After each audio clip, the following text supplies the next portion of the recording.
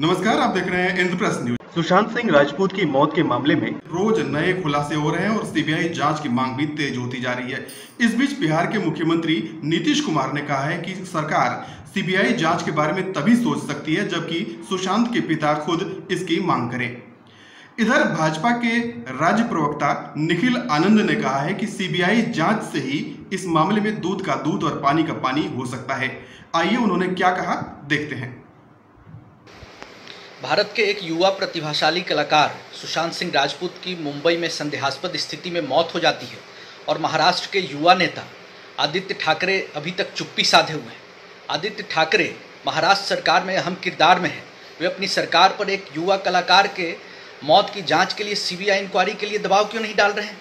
और सबसे दुखद पहलू ये है कि बिहार की पुलिस ने जब से जाँच शुरू किया है तो ऐसा प्रतीत होता है कि बॉलीवुड माफियाओं और उनके संरक्षक जो महाराष्ट्र सरकार और मुंबई पुलिस में हैं, उनमें बहुत तकलीफ़ की स्थिति है। और ये भी अफवाहें उड़ रही है कि मुंबई में वहाँ सबूतों से छेड़छाड़ और तथ्यों को मिटाया जा रहा है।